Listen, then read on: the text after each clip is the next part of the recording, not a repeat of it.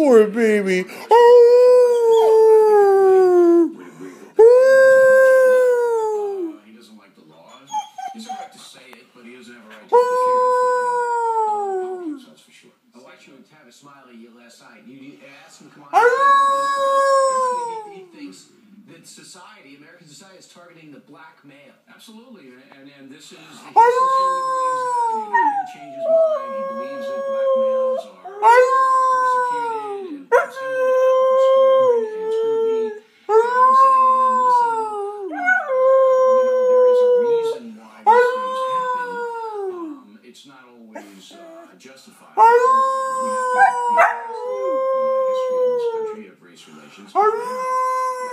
the evidence is the evidence, you know, and you can't use.